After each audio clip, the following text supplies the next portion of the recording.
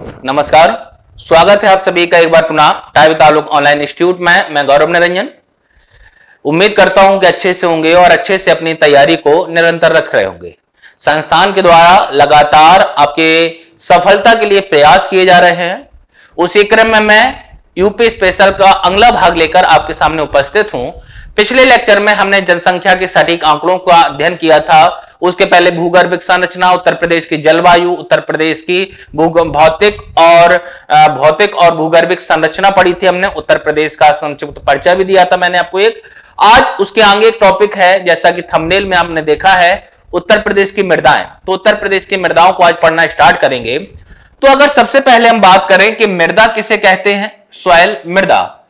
तो अगर मृदा की बात की जाए तो धरातल की सबसे ऊपरी परत धरातल की सबसे ऊपरी परत जिसमें कृषि संबंधित कार्य किए जाते हैं। क्या किए जाते हैं? कृषि संबंधित कार्य किए जाते हैं, उसे मृदा कहा जाता है। क्या कहा जाता है? मृदा कहा जाता है। अब अगर बात करते हैं कि मृदा को प्रभावित करने वाले कारक,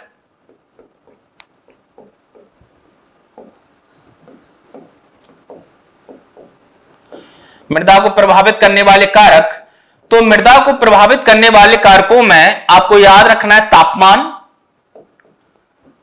वर्षा तापमान, वर्षा, चट्टान। जब चट्टान टूटती फूटती है तो चट्टान के टूटने फूटने से यह चट्टानों के विखंडित होने से ही मृदा का निर्माण होता है। इसलिए चट्टानों को मृदा का जनक कहा जाता है, मृदा का पिता। मृदा का इसे क्या कहा गया? जनक। फादर ऑफ़ सॉइल और उसके बाद ह्यूमस ह्यूमस ह्यूमस क्या होता है? तो जो जीव जंतु होते हैं छोटे छोटे से जीव जंतु जीव जंतु एवं पेड़ पौधों का सड़ा गला भाग. जीव जंतु एवं पेड़ पौधों का सड़ा गला भाग.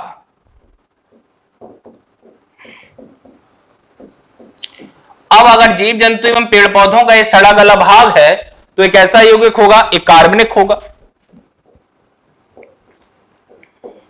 कैसा होगा?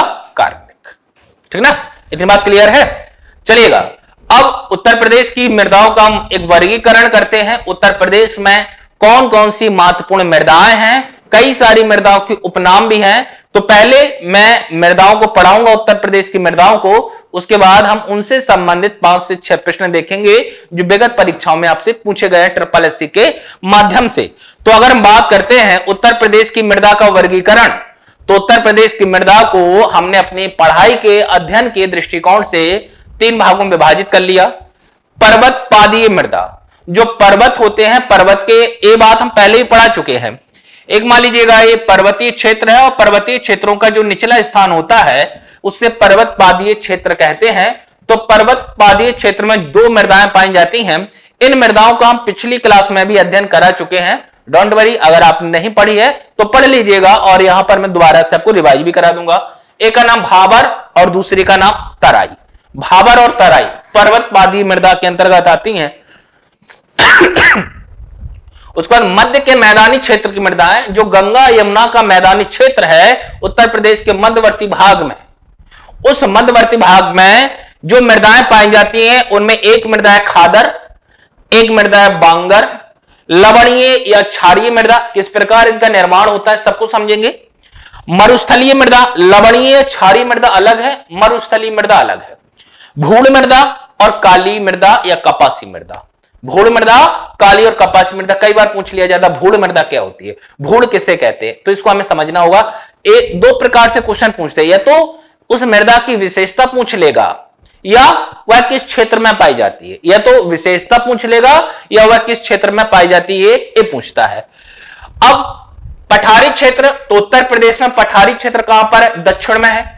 बुंदेलखंड और बघेलखंड का पठारी क्षेत्र है, उत्तर प्रदेश के दक्षिणी भागों में तो वहाँ पर कुछ मृदाएँ पाई जाती हैं, जो सबसे महत्वपूर्ण मृदा है, लाल मृदा। एक है पड़ुआ मृदा, या इसी को परवा मृदा भी कहते हैं। पड़ुआ या परवा मृदा। माड़ या माड़ मृदा, मार या माड़। राकड़ मृदा और एक होती है भोंटा मृदा भोंटा मृदा। तो ये इतनी मृदाएँ हैं उत्तर प्रदेश में। मुख्य रूप से ये चार पाँच मृदाएँ होती हैं। भावर भावर की मृदा, तराई हाल में मैदानी क्षेत्र होते हैं। खादर मृदा, बांगर मृदा और लाल मृदा। ठीक ना? तो इन्हीं को हम एक एक से समझते हैं। भावर का मैदान, ठीक ना? तराई का मैदान, खादर मृदा, बांगर मृदा। ये भावर और तराई बल्कि मैदानी क्षेत्र होते हैं। मृदाएँ नहीं होती, भावर का मैदान, तराई का मैदान, किस प्रकार की मिट्टी पाई जाती है, ऐसे क्वेश्चन पूछा जाएगा। आइएगा, प्रारंभ करते हैं। अगर हम बात करें तो ये उत्तर प्रदेश की उत्तरी सीमा है और उत्तर प्रदेश की उत्तरी सीमा नेपाल देश के साथ लगती है। उत्तर प्रदेश की उत्तरी सीमा जो है, वो जिस देश के साथ लगती है, उस देश का नाम है नेपाल। और नेपाल में हिमालय का सबसे दक्षिणी विस्तार है, जो उत्तर प्रदेश से एकदम सटा हुआ भाग है, शिवालिक। कौन सा हिमालय है यहाँ पर? तो यहाँ पर जो हिमालय है, इस हिमालय का नाम है शिवालिक हिमालय। शिवालिक हिमालय पर्वतीय क्षेत्र से कई सारी नदियाँ उद्गमित होती हैं। कोसी नदी है, घाघरा नदी है, ठीक है ना? कोसी नदी घाघरा नदी है, राप्ती नदी है, गंडक नदी है तो कई सारी नदियाँ यहाँ से निकलती हैं। तो जब नदियाँ पर्वतीय क्षेत्र से उतरती हैं। जब नदियाँ पर्वतीय क्षेत्र से नीचे उतरती हैं तो पर्वतीय क्षेत्रों पर ढलान होने के कारण जब नदी नीचे बढ़ती है तो इन पर्वतीय क्षेत्रों का कटाव करती है, पर्वतीय क्षेत्रों का अपर्दन करती है। क्या करती है? अपर्दन करती है, कटाव करती है। तो जब कटाव करती है तो अपने साथ विशाल विशाल भूखंड या विशाल विशाल टीले नुमा पत्थर कह सकते हैं आप या जलोड कह सकते हैं। उन जलोडों को उन अवसादों को क्या करती है? बहा कर लाती है और उनको एक स्थान पर क्या करती है? आकर छोड़ देती है। उनको एक स्थान पर आकर छोड़ देती है।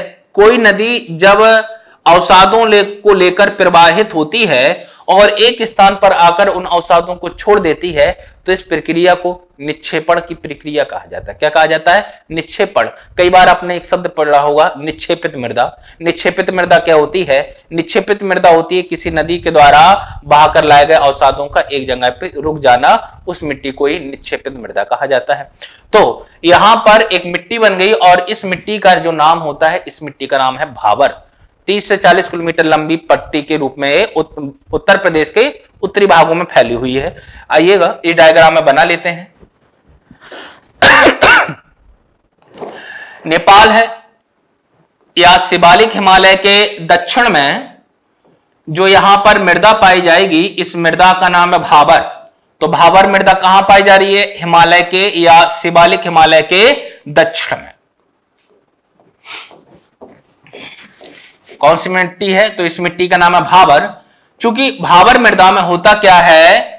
अवसादों का निक्षेपण हो जाता है। बड़े बड़े विशाल विशाल अवसादों का यहाँ पर निक्षेपण हो जाता है। अवसाद जो ऊपर से बहकर ला रही है नदी, उनको एक स्थान पर यहाँ पर छोड़ देती है।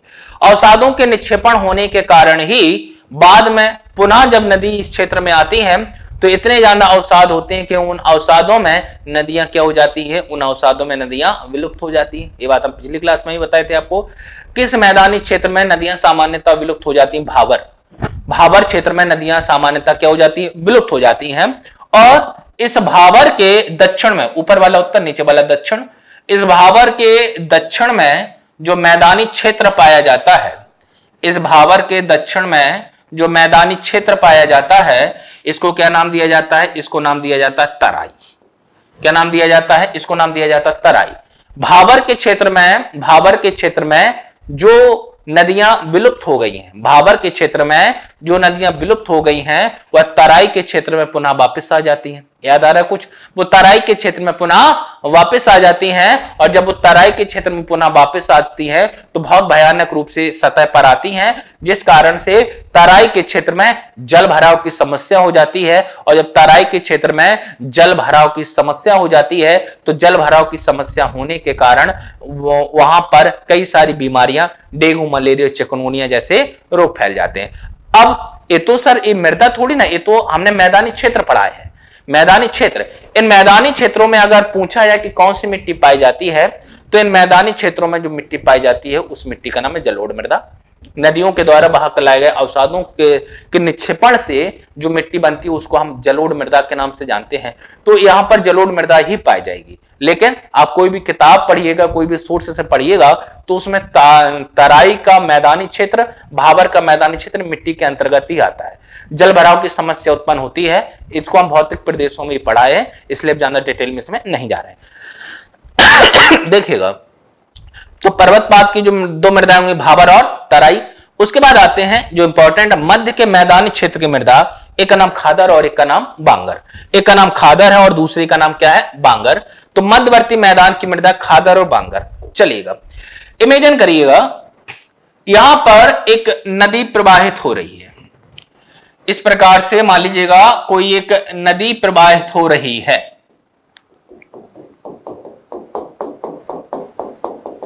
क्या प्रभावित हो रही है? नदी प्रवाहित हो रही है। तो नदी अपने साथ, अभी अभी मैंने बताया है, नदी अपने साथ अवसादों को बहाकर लाती है और उन अवसादों का एक जगह पर निक्षेपण कर देती है। ऐसा तो है नहीं कि नदी एक ही बार अवसादों को बहा कर लाएगी। नदी का कार्य ही है।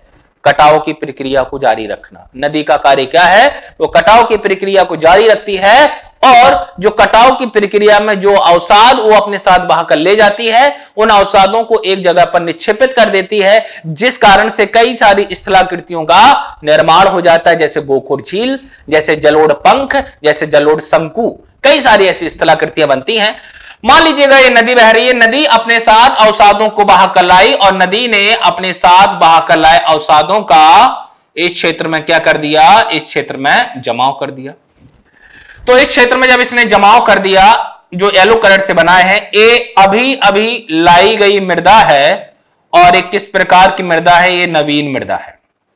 अभी अभी लाई गई मृदा है और ये नवीन मृदा है और इस नबीन मृदा को ही हम किस नाम से जानते हैं? इस नबीन मृदा को नाम दिया गया खादर। क्या नाम दिया गया? इस नबीन मृदा को नाम दे दिया गया खादर। लेकिन नदी एक बार ही अवसादों को बहाकर नहीं लाती है, बल्कि फिर से नदी अपने साथ पानी लाएगी, पानी के साथ अवसादों को बहाकर लाएगी और अब नदी क्या कर देगी? अब नदी यहाँ पर अवसादों को एकत्रित कर देगी। भाई, जो येलो कलर का है, जो कोई ये सोच रहा होगा, सर येलो कलर में नहीं, बाबू, वहाँ पर तो पहले से आ चुके हैं अवसाद। वहाँ पर तो पहले से अवसाद एकत्रित हो चुके हैं। अब नदी ने क्या किया? यहाँ पर अवसादों को एकत्रित कर दिया। अब बताइएगा, दोनों में से कौन नवीन, कौन पुराना? तो जो ग्रीन कलर से मैं बनाया हूँ, अब ये नवीन है। अब ये नवीन मृदा है और इस नवीन मृदा को ही नाम दिया गया क्या? इस नवीन मृदा को नाम दिया गया खाद। अच्छा तो अगर ये नवीन है तो अब जो येलो कलर से बनी हुई है, एक ऐसी होगी अभी प्राचीन हो गई। अब एक ऐसी हो गई है, अब एक प्राचीन हो गई है तो अब एक कौन सी मृदा हो गई? प्राचीन। और प्राचीन मृदा के लिए जो शब्द यूज़ किया जाता है, वो शब्द बांगर। कौन सी मिट्टी है? तो वो है मिट्टी बांगर मृदा। कौन सी मिट्टी है? बांगर। अगर मैं कहूँ कि तटीय क्षेत्रों में सबसे ज़्यादा कौन सी मिट्टी पाई जाएगी? खादर। आपको एक उदाहरण देता हूँ। मान लीजिएगा, ए, एक नदी का, नदी क्षेत्र है, यहाँ नदी बह रही है। यहाँ पर मान लीजिएगा, ए नाम का कोई एरिया है, कोई मोहल्ला है। यहाँ पर मान लीजिएगा, एक बी नाम का मोहल्ला है और यहाँ पर मान लीजिएगा, सी नाम का मोहल्ला है। ऐसा रास्ता जा रहा है इस प्रकार से। यहाँ भी मान लीजिएगा, कोई एक्स नाम का एरिया है, कोई बाई नाम का एरिया है या कोई जेड नाम का एरिया है। इस प्रकार से ऐसी सड़क जा रही है। तो नदी आएगी, नदी में अवसाद आएँगे, नदी अपने अवसादों को यहाँ पर एकत्रित करेगी। यहाँ पर एकत्रित करेगी तो यहाँ पर, जहाँ पर एकत्रित करेगी, ये नवीन जलोढ़ मृदा होगा।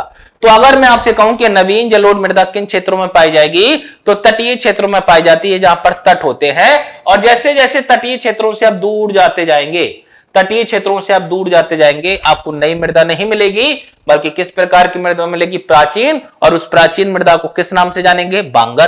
तो नवीन मृदा जो है, नवीन मृदा जो है, ये कहाँ पाई जाएगी? ये पाई जाएगी तटीय क्षेत्र में। और जब तटीय क्षेत्र में पाई जाएगी तो तटीय क्षेत्रों में आए दिन बाढ़ आने की क्या होती है? बाढ़ आने की संभावना होती है। तो यहाँ पर बाढ़ आने की क्या होगी? यहाँ पर बाढ़ आने की संभावना होगी। अब उसने क्वेश्चन को रिवर्स कर के पूछ लिया आपसे। रिवर्स कर से कैसे पूछ लिया? रिवर्स करके कैसे पूछ लिया? बाढ़ के द्वारा लाए गए अवसादों से किस मिट्टी का निर्माण होता है? किस मिट्टी का निर्माण होगा? खादर का। किस मिट्टी का होगा? खादर। जब बाढ़ आएगी तो बाढ़ में नदी अपने साथ अवसादों को बहाकर भी लाएगी, और जब वो अपने साथ अवसादों को बहाकर लाएगी तो अवसादों को एक जगह पर फैला देगी, और जब अवसादों को एक जगह फैला देगी तो मिट्टी का निर्माण हो जाएगा। ये मिट्टी कहाँ पाई जाएगी? तटीय क्षेत्रों से दूर। तटीय क्षेत्र से दूर पाई जाएगी। तटीय क्षेत्र से दूर होगी। अगर अब मैं बात करूँ कि बताइए कौन सी अधिक उपजाऊ होगी तो खादर मिट्टी। क्योंकि अभी अभी लाई गई नवीन मृदा है और इसका उपजाऊपन क्या होना चाहिए? इसका उपजाऊपन अधिक होगा तो खादर मिट्टी क्या होगी? ये अधिक उपजाऊ होगी। अधिक उपजाऊ होगी।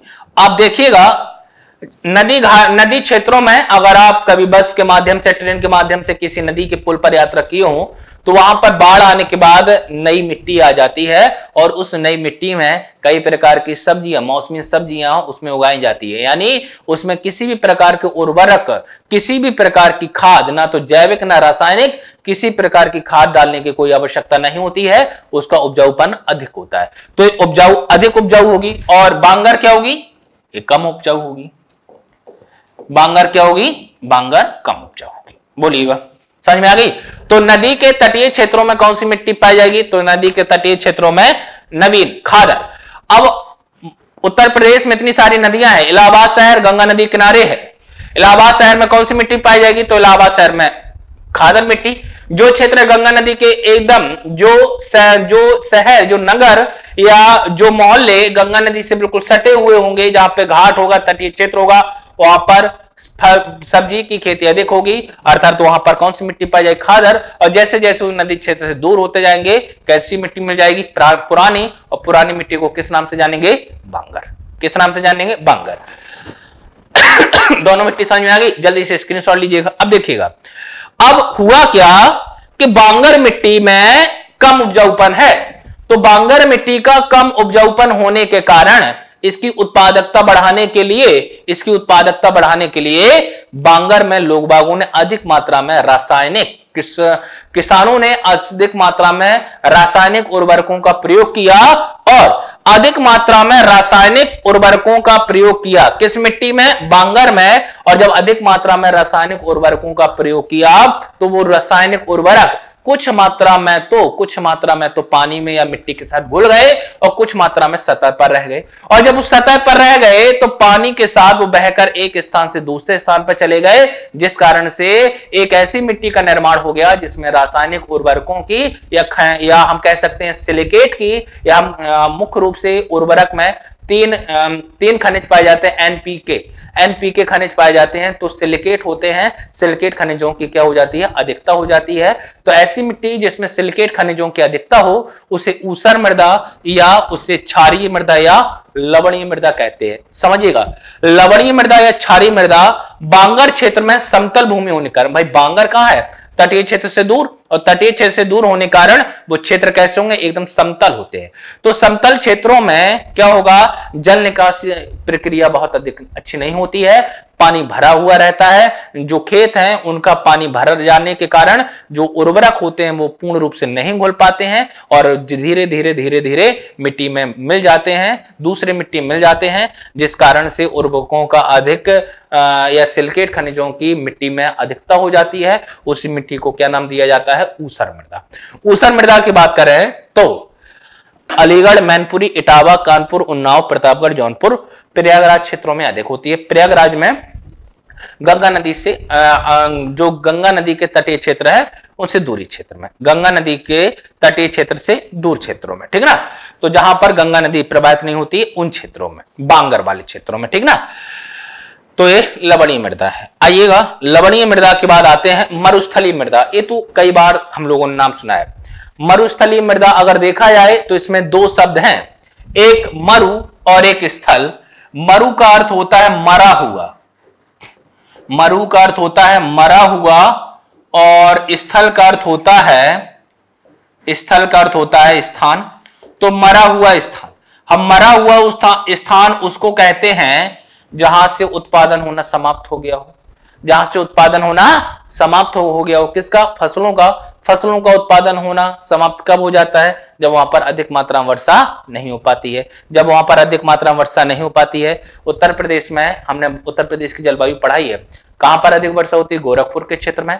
कहाँ पर कम वर्षा होती है? मथुरा आगरा के क्षेत्र में। तो देखिएगा मथुरा आगरा अलीगढ़ के क्षेत्र में शुष्कता एवं भीषण तापमान के कारण। मथुरा, आगरा, अलीगढ़ के क्षेत्र में शुष्कता, यानी सूखा रहता है और साथ ही साथ भीषण गर्मी रहती है। भीषण तापमान के कारण जो चट्टाने हैं, वो अपक्षयित एवं विखंडित हो जाती है, टूट फूट जाती हैं और उनके टूटने फूटने से ही किस मिट्टी का निर्माण हो जाता है? बालू के कणों में मिट्टी, चट्टान बालू के कणों में परिवर्तित हो जाती है और जब ये बालू के कणों में परिवर्तित हो जाती है तो इसी के लिए क्या शब्द यूज़ किया जाता है? रेतीली मृदा या मरुस्थली मृदा। क्या नाम दे दिया जाता है? रेतीली मृदा या मरुस्थली मृदा। आपको मिट्टी कैसे बनी याद नहीं रखना है। आपको याद रखना है कि इसका क्षेत्र कौन सा है। इनके क्षेत्र कौन से कहा ये मिट्टी पाई जाती है तो शुष्कता एवं भीषण तापमान के कारण चट्टान जो होती है, वो अपक्षयित एवं विखंडित हो जाती है, जिससे बालू के कणों में वो परिवर्तित हो जाएगी चट्टान, और उन्हीं बालू के कणों को हम मरुस्थली मृदा या फिर कौन सी मृदा? रेतीली मृदा के नाम से जानते हैं। ठीक ना? अगला देखते हैं। भूड़ मृदा। गंगा के मैदानी क्षेत्रों में, गंगा और उसकी सहायक नदियों के द्वारा जो मैदान का निर्माण हुआ, उसी को हम गंगा का मैदानी क्षेत्र कहते हैं। गंगा के मैदानी क्षेत्रों में 10 से 20 फुट ऊँचे 10 से 20 फीट ऊँचे टीली नुमा आकृति को भूण कहा जाता है। क्या कहा जाता है? भूण कहा जाता है। कोई प्रॉपर जिला याद नहीं रखना, आपको गंगा का मैदानी क्षेत्र याद रखना है। गंगा के मैदानी क्षेत्र में 10 से 20 फीट ऊँचे टीली नुमा आकृति को क्या कहा जाता है? भूण कहा जाता है। और ये जो भूण मृदा होती है और ये जो भूण मृदा होती है, ये दोमट एवं बलुई मृदा होती है। दोमट एवं बालू के कण पाए जाएँगे। बालू के अधिक मात्रा में क्या पाए जाते हैं? कण पाए जाते हैं और कणों का आकार सामान्य आकार से क्या होता है? बड़ा होता है। तो दोमट एवं बलुई मिट्टी है। कौन सी? भूण मृदा। कहाँ पाई जाएगी? गंगा के मैदानी क्षेत्रों में 10 से 20 फीट ऊँची स्थलाकृति होती है। टीली नुमा आकृति बनती है इस प्रकार से। टीली नुमा आकृति बनती है। ठीक ना?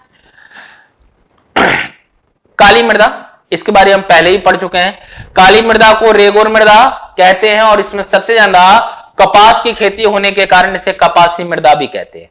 किस नाम से जानते हैं? इसे कपासी मृदा के नाम से भी जानते हैं और कपासी मृदा के साथ साथ एक से करेल मृदा के नाम से भी जानते हैं। तो रेगोर मृदा, कपासी मृदा, करेल मृदा एक ही मिट्टी है और काली, इसको व्यापक रूप से काली पश्चिमी उत्तर प्रदेश के जिलों में अधिक पाई जाती है। बुंदेलखंड के कुछ क्षेत्रों में पाई जाती है, जैसे जालौन के क्षेत्र में पाई जाती है।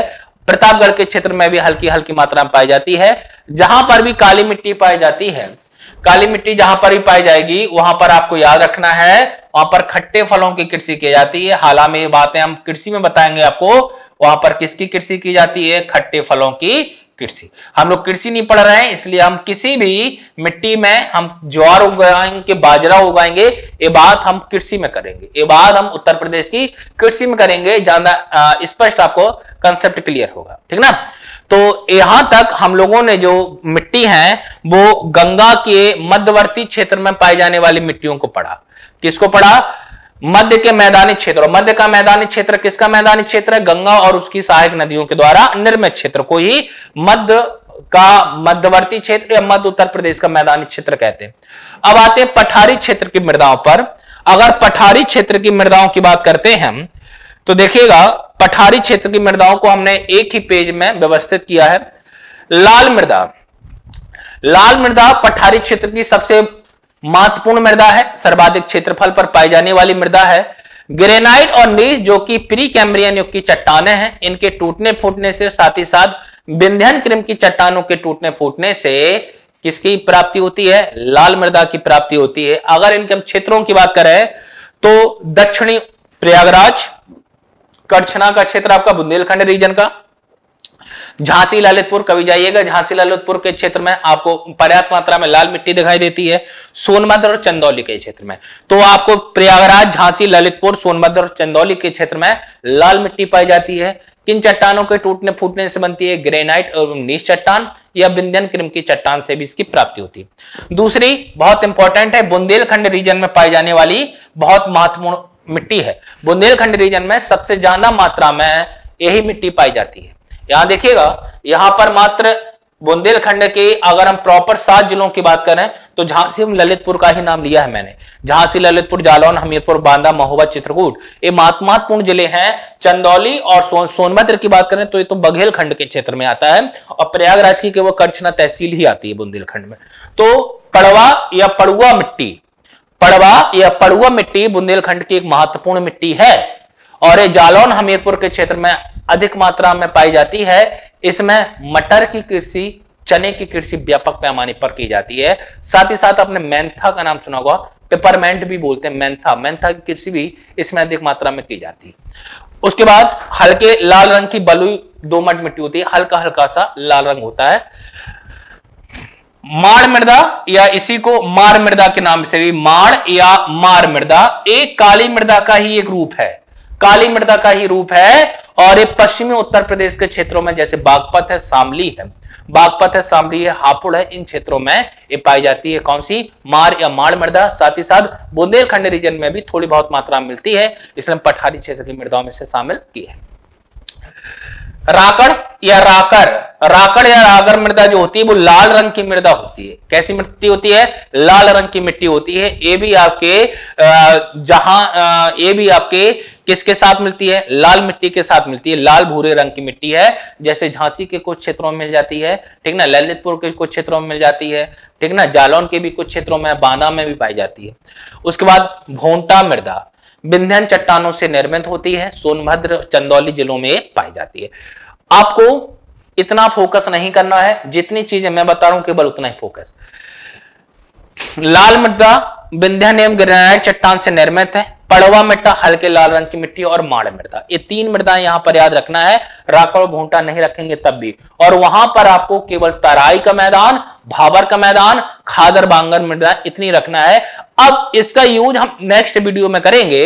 इसका यूज़ हमें नेक्स्ट वीडियो में करना है, जब हम उत्तर प्रदेश की कृषि, उत्तर प्रदेश की बागवानी फ़सलें, उत्तर प्रदेश की व्यावसायिक फ़सलें, इन सब का अध्ययन करेंगे, तब इन मिट्टियों का उपयोग किया जाएगा, ठीक ना? आइएगा, अब इनसे संबंधित कुछ प्रश्न है, इनके आप आंसर दीजिएगा। पहला प्रश्न, नवीन जलोढ़ मृदा को किस नाम से जाना जाता है? तो नवीन जलोढ़ मृदा को किस नाम से जाना जाता है? मैंने अभी अभी बताया आपको। जो नवीन जलोढ़ मृदा होती है, उसको हम खादर कहते हैं, और जो पुरानी जलोढ़ मृदा होती है, उसको हम बांगर कहते हैं। ये न केवल यूपी टर्पासी के द्वारा, बल्कि विभिन्न परीक्षाओं में कई बार पूछा गया क्वेश्चन है। तो नवीन जलोढ़ मृदा को किस नाम से जाना जाता है? तो नवीन जलोढ़ मृदा को किस नाम से जाना जाता है? खादर के नाम से जाना जाता है। किस नाम से? खादर। पड़ुआ मृदा। अभी अभी बताएँ पड़ुआ मिट्टी को पड़वा मिट्टी भी कहते हैं पड़ुआ या पड़वा मिट्टी। दोमट प्रकार की होती है लाल रंग की। पड़ुआ मृदा प्रदेश के किस क्षेत्र में पाई जाती है? अवध के क्षेत्र में, यानी फैजाबाद की बात हो रही है। दुआब गंगा यमुना के दुआब क्षेत्र में। पश्चिमी उत्तर प्रदेश के क्षेत्र में या बुंदेलखंड के क्षेत्र में तो सबसे अधिक मात्रा में कहाँ पाई जाती है? बुंदेलखंड के क्षेत्र में, जालौन हमीरपुर के क्षेत्र में अधिक मात्रा में पाई जाती है। कहाँ पाई जाती है? जालौन हमीरपुर के क्षेत्र में अधिक मात्रा में पाई जाती है। दक्षिणी पठारी क्षेत्र के अंतर्गत आते हैं। भूड़ मृदा क्या है? तो भूड़ मृदा चट्टानों से विखंडित मृदा तो चट्टानों से विखंडित मृदा तो मरुस्थलीय मृदा होती है। मरुस्थली मृदा यानी ये भी नहीं है। चिकनी मिट्टी जिसमें जो कण होते हैं, वो बहुत नैनो माइक्रो में आते हैं, उसको हम चिकनी मिट्टी कहते हैं, जिसमें पानी धारण की क्षमता अधिक होती है और सूखने पर गीली हो जाती है। ये भी नहीं है, बल्कि क्या है? गंगा के मैदानी क्षेत्र में 10 से 20 फीट ऊँची स्थलाकृति है टीली नुमा स्थलाकृति। उसी को क्या नाम दिया जाता है? उसी को नाम दिया जाता है भूड़ मृदा। क्या नाम दिया जाता है? तो भूड़ मृदा क्या है? टीली नुमा मृदा है। या टीलेनुमा आकृति है, दस से बीस फीट ऊँची होती है। उसके बाद दलहनी फ़सल। देखिएगा, दलहन फ़सल जो है, वो लाल मिट्टी की विशेषताएँ होती है। दलहन फ़सल या मोटे अनाज, जैसे ज्वार, बाजरा, मक्का, चना, मटर, मसूर, सोयाबीन, ये सारे के सारे जो हैं, वो दो मट में सॉरी ये सारे के सारे जो हैं, दलहन में, दलहन फ़सल या मोटे अनाज के अंतर्गत आते हैं, और इनकी कृषि जो है, वो बुंदेलखंड रीजन में अधिक होती है, लाल मिट्टी में इनकी खेती अधिक की जाती है। उसके बाद, काली मृदा को अन्य किस नाम से जानते मार, राकर, पड़वा, करे। तो काली मिट्टी के तीन नाम मैंने आपको बताए थे, एक तो करेल दूसरा कपासी मृदा और तीसरा रेगुर मृदा। कौन सी मिट्टी? रेगुर मृदा। तो इसका सही आंसर जो होगा, वो कौन सा होगा? सही आंसर जो इसका होगा करे ठीक है ना? देखिएगा, आवाज़ बैठ जा रही है। आपको पढ़ाते पढ़ाते आवाज़ बैठ जा रही है। जिस प्रकार संस्थान आपके लिए मेहनत कर रहा है और आपसे भी ये अपेक्षा रखता है कि आप भी उतनी ही, बल्कि उससे ज़्यादा मेहनत करें, आपको घर पर बैठकर सुरक्षित होकर मेहनत करनी है। वीडियो को ज़्यादा से ज़्यादा मात्रा में लाइक कीजिएगा और जो भी समस्या हो, अगर कोई समस्या आती है तो ठीक है। आप उसको कमेंट में बता सकते हैं और नहीं है तो कोई बात नहीं है। आप अच्छे रास्ते पर है। निश्चित रूप से आपको सफलता मिलेगी। ठीक ना? मिलते हैं फिर नेक्स्ट वीडियो में। धन्यवाद।